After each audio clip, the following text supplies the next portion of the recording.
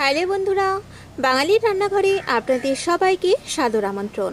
আজ আমি আপনাদের সাথে আবারও দারুণ স্বাদের একটি নিরামিষ রেসিপি নিয়ে হাজির হয়েছি।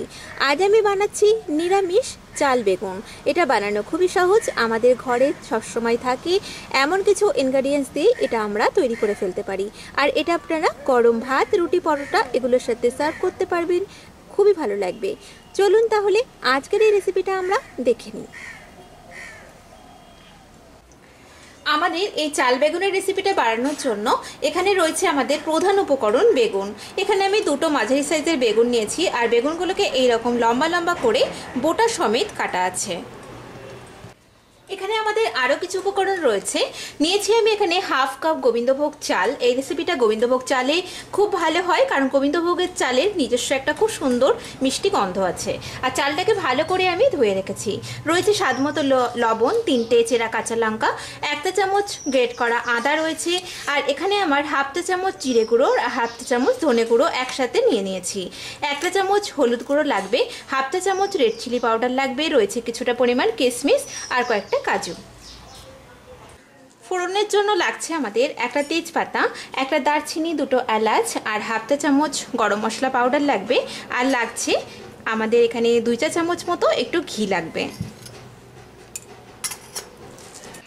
এখন আমি প্রথমেই এই বেগুনগুলোর মধ্যে একটু লবণ, হলুদ আর সামান্য একটুখানি চিনি দিয়ে ভালো করে ম্যারিনেট করে নেব। লবণ দিয়ে দিলাম। দিয়ে দিচ্ছি হলুদ গুঁড়ো।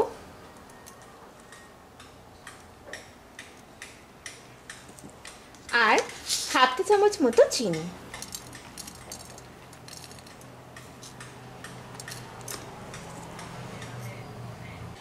ভালোভাবে বেগুনের গায়ে মাখিয়ে নেব। বেগুনগুলোর মধ্যে লবণ হলুদ ভালোভাবে মাখানো হয়ে গেছে। এখন আমি একটা বাটির মধ্যে একটা মশলার পেস্ট রেডি করে নিচ্ছি। নিয়ে নিলাম এর মধ্যে আদা বাটা, হলুদ গুঁড়ো দিয়ে দিলাম হাফ চা চামচ মতো রেড চিলি পাউডার ঝালটা নিজেদের স্বাদ মতো দেবেন, আর দিয়ে দিচ্ছি জিরে আর ধনে গুঁড়ো। সামান্য একটু জল দিয়ে মশলাটাকে আমি রেডি করে নিচ্ছি।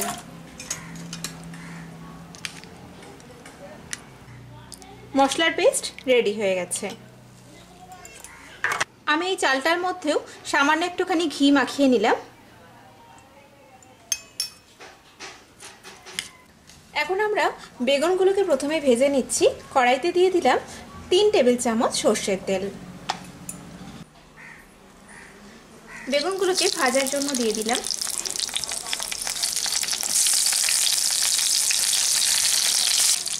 এখন এই বেগুনগুলোকে আমি একটু বাদামি করে ভেজে নিচ্ছি। বেগুনগুলোর এক দিক ভাজা হয়ে গেছে, এখন এগুলোকে আমি উল্টিয়ে দিচ্ছি।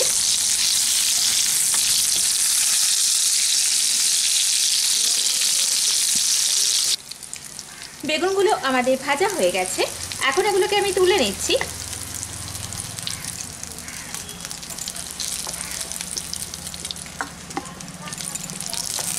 বেগুনগুলো আমাদের সব বাদামি করে ভাজা হয়ে গেছে। এখন আমি এই বাদবাকি তেলের মধ্যে একটু এই কিশমিশ আর কাজুটাকে ভেজে নেব। কিশমিশটাও দিয়ে দিলাম।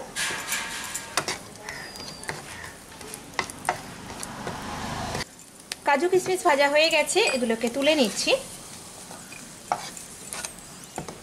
এখন এই তেলের মধ্যে ফোড়ন দিয়ে দিচ্ছি একটা তেজপাতা আর দারচিনি আর এলাচ। এখন আমি এর মধ্যে গোবিন্দভোগ চালটা দিয়ে দেব।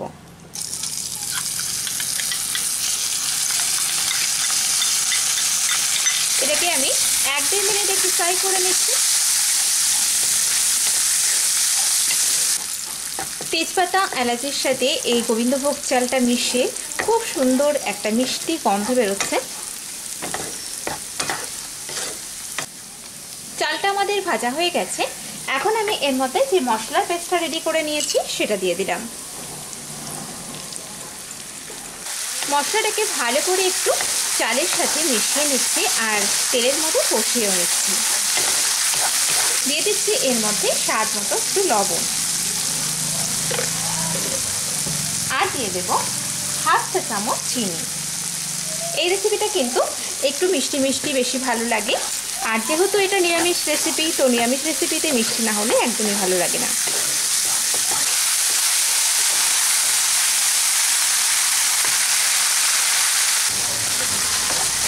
মশলাটা আমাদের ভালোভাবে কষানো হয়ে গেছে। এখন আমি এর মধ্যে পরিমাণ মতো জল দিয়ে দেবো, যেহেতু চালটা একটু সেদ্ধ হবে।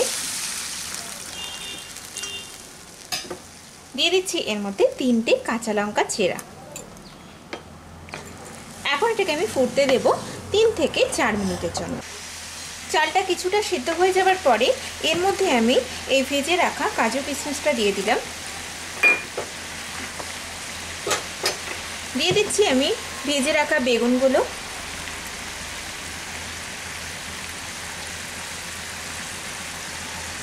চালটা কিন্তু আমাদের প্রায় সেভেন্টি পার্সেন্ট মতো সেদ্ধ হয়ে গেছে।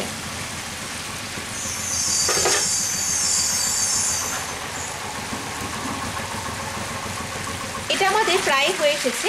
নামানোর আগে এর মধ্যে দিয়ে দিলাম হাফ চা চামচ গরম মশলা পাউডার আর দিয়ে দিচ্ছি আর প্রায় দুই চা চামচ মতো ঘি।